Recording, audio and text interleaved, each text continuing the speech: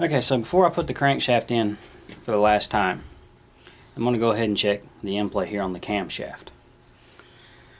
To check the end play on the camshaft,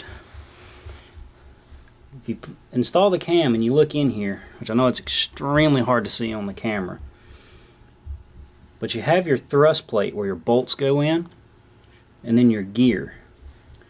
Well, in between the gear and the thrust plate is a gap.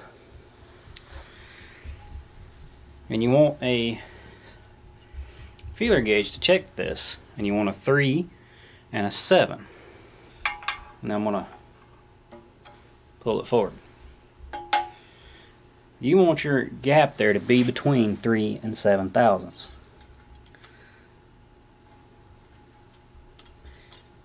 And my 3 goes in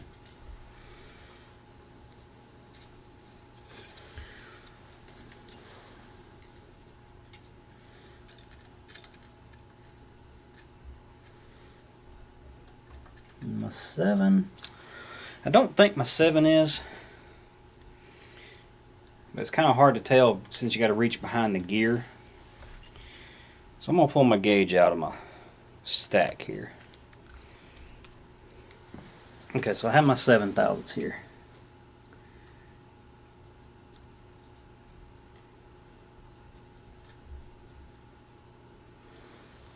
It does not appear to be going in. Well, right there it just went into it. Like right here on top, that gauge doesn't, or this feeler gauge doesn't go in at all. But it does kind of on the sides a little bit. It's probably okay.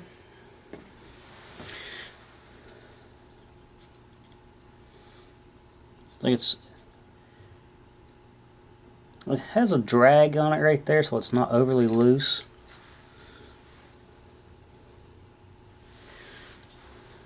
But the rest of the way around it the gauge doesn't even go in.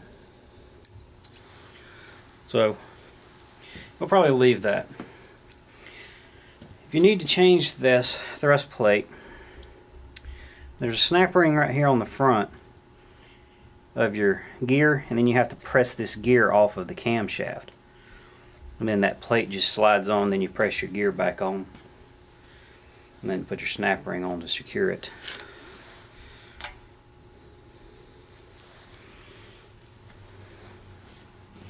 So they're not too difficult to change if you have to change yours.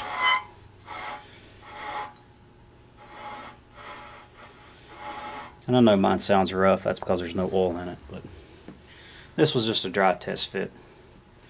So I'm gonna leave that alone. It's a it's okay on spec, I think. So now I'm gonna pull it back out and I'm gonna put my lifters in. Then we'll install the cam. And then we'll get the rear main in, the bottom of the rear main, and we'll set the crank in for the final time.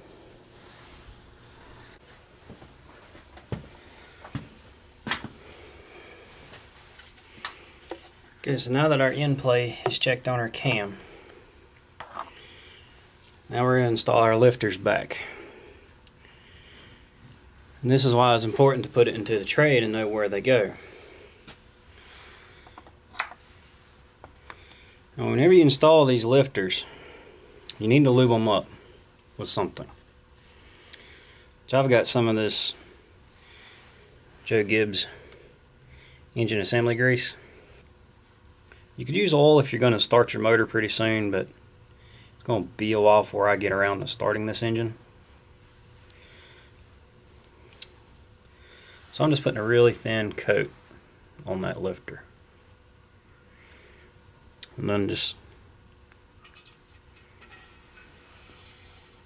slide it down in the bore.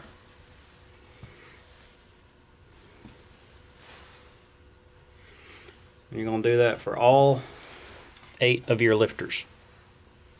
As far as these lifters are concerned, if they look in good shape, just reuse them.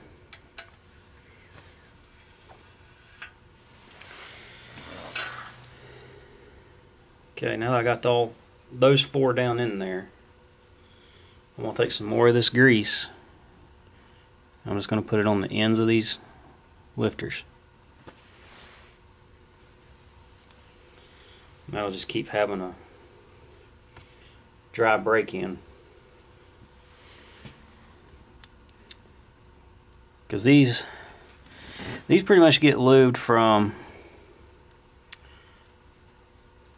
you know, some, some oil roll down your push rods, the rest of it comes off your connecting rods. So just a little bit on there will help to keep having them dry. Now, once you get all eight done, we'll slide the camshaft in. Okay.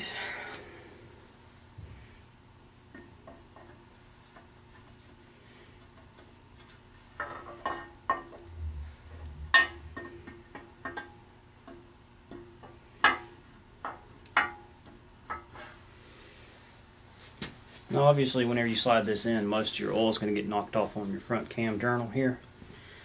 So before I actually put it all the way in, I will come back and put some more lube onto the last two journals.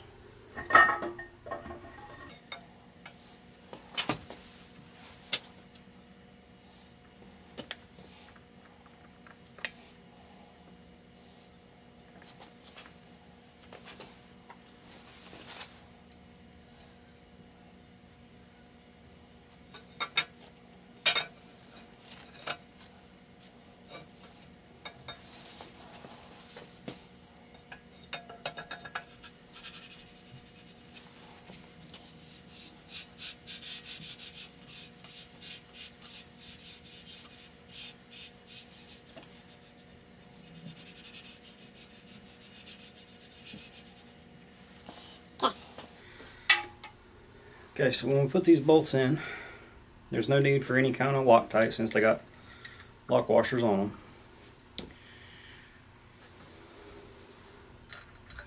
And torque spec is 12 to 16. So I'm just going to go in the middle and put them at 14. And as you see, it's not very much.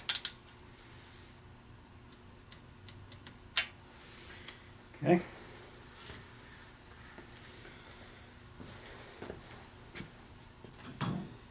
Now I'm going to take the grease. I'm just going to come in here and put some on all the lobes of the cam and our little gear here where either our distributor if it's a gas or for the diesel motor our injection pump drive gear will go. Okay, last step on installing our camshaft is going to be installing our hydraulic pump gear. Here's our hydraulic pump gear. And as you see, I got the flat side towards the transmission, the dish side is towards the engine. Okay, and just like our gear on front, the front, for our thrust plate, our torque spec is 12 to 16. So we're going for 14. And you'll have to hold the gears to get it to torque but like I say 14 is not a lot so it shouldn't be too hard to hold. And whenever you torque these do them in a cross pattern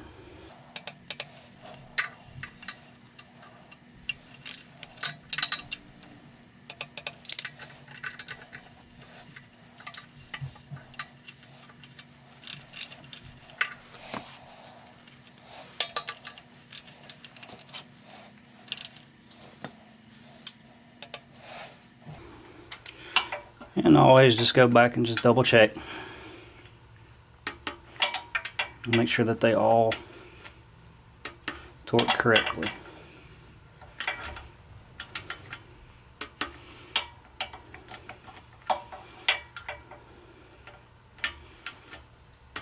Okay. So there's our camshaft installed Now it just has the little plate that goes over this to, to seal everything up. Okay, to install the rear main seal, you're basically going to stick this on the end of the seal, this on your block to align it. So now this half of our seal is installed.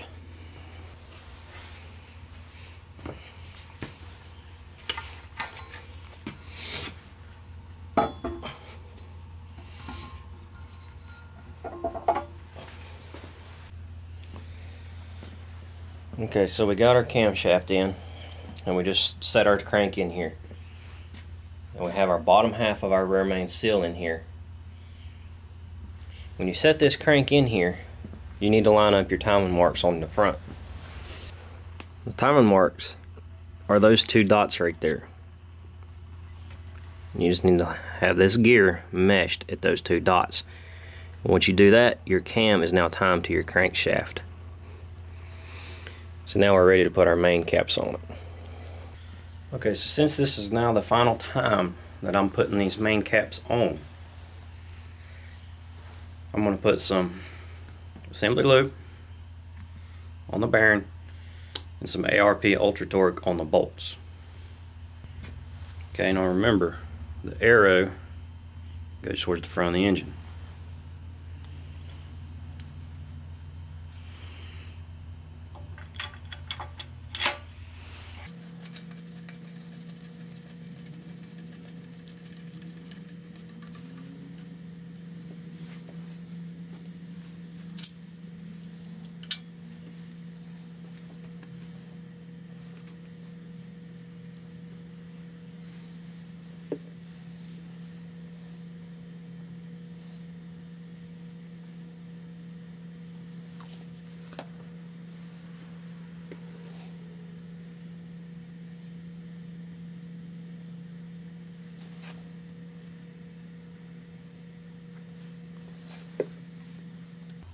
On our thrust cap I added just a little bit of extra onto the thrust surfaces.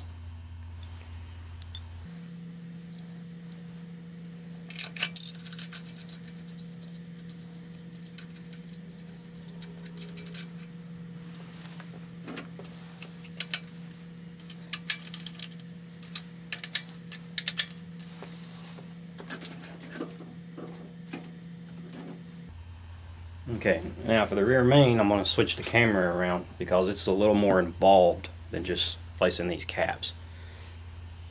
And it's a little more involved due to just the rear main seal, since the seal is a two, well, technically it's a four-piece seal, if you want to call it that, due to your two half moons and then these annoying little guys, which I'm not even going to use these, and I'm going to explain how I get away with not using these.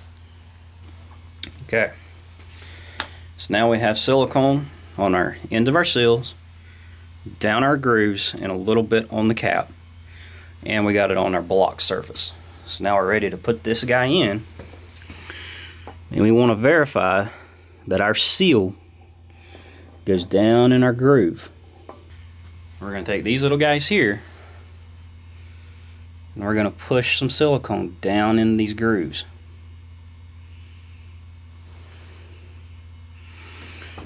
And it'll actually start to come out the bottom.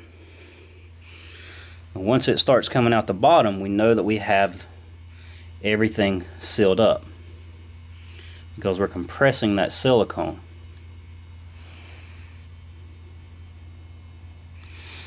And right here you can see it actually coming out of the side of the cap.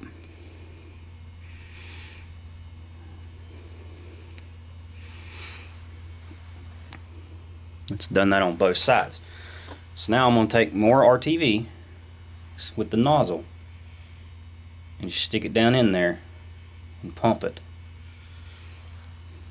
Now it's pushed more out and we're filled to the top. We'll do the same thing on both sides. Okay, so now that our rear main seal, rear main cap, whatever you want to refer to it as, is now installed. I now need to torque down everything. Now the gas motor and the LP motor want to be torqued to 95 to 105 foot-pounds, which I would recommend doing 100. That's right in the middle. Now on a diesel, like I have, it's 110 to 115. So since I'm reusing the old original bolts, I'm just going to go to 110. However, I'm not going to sit there and go straight to 110. I want to do what's called a staged torque. I first want to go to 50 or 55. I, I can even do 55, that just splits it in half.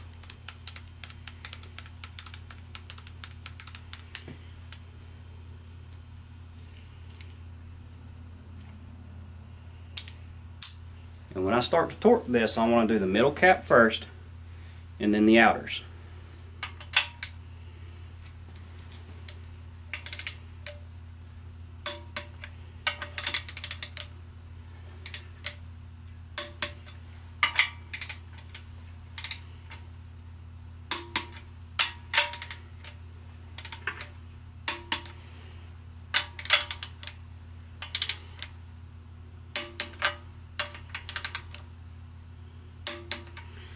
There's 55. Um, and here's 110. And when you torque these, do it in one smooth motion.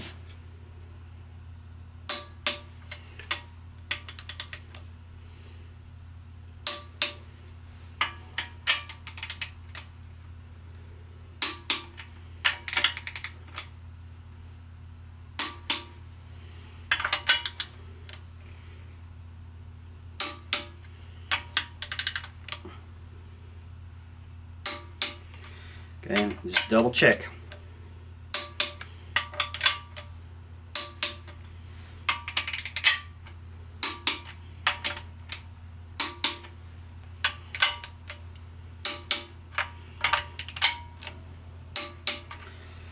Okay, now let's make sure our rear main didn't move. Thing looks good on it.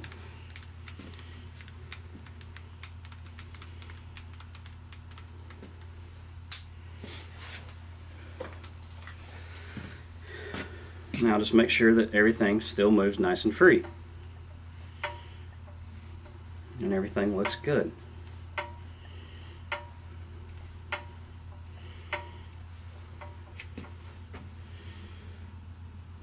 Okay, so there's our crankshaft installed.